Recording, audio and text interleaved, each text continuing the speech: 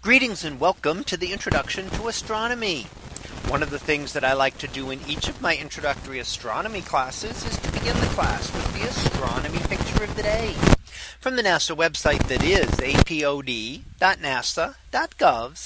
apod. And today's picture for November 11th of 2022. Well, it is titled Blood Moon Ice Giant. So what do we see here? Well, here we see two different images of the lunar eclipse, which occurred a few days ago. And on the right hand side, we see the fully eclipsed moon. And that is when the moon passes into Earth's shadow. And most of the light, in fact, all the direct light from the sun is blocked out from striking the moon.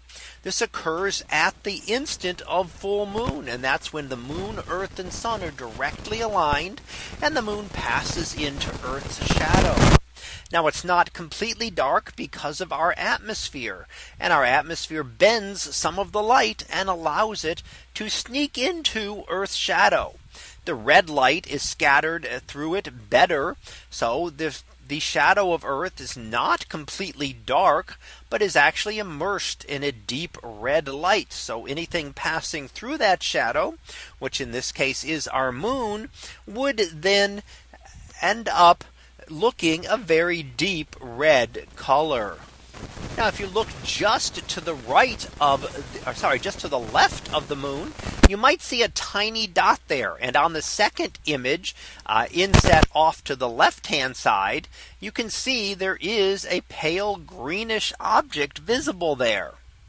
This is actually the planet Uranus, and it is one of the two outermost planets in the solar system, sometimes known as ice giants. Very large planets, much larger than Earth, but made mainly of a lot of icy materials as well as some gases. So sometimes we look at Jupiter and Saturn as the more gaseous or even liquid planets for their liquidy interiors. And the outer planets, the two outer ones, Uranus and Neptune, known as ice giants for their icy composition.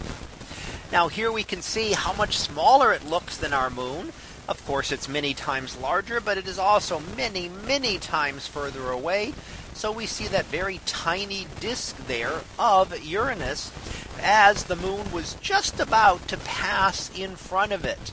An occultation occurs when one astronomical object passes in front of another. So you could think of a solar eclipse as an occultation when our moon passes in front of our sun. Although usually we refer it to when a closer object, such as a moon or planet, passes in front of a much more distant object, such as a more distant planet or a star.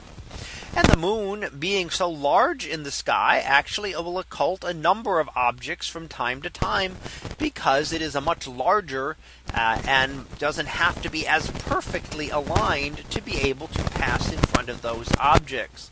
So here we have that image during the middle of the eclipse when the moon happened to just begin to pass right in front of the distant planet Uranus. So that was our picture of the day for November 11th of 2022. It was titled Blood Moon Ice Giant. We'll be back again tomorrow for the next picture previewed to be eclipse in the city. So we'll see what that is about tomorrow.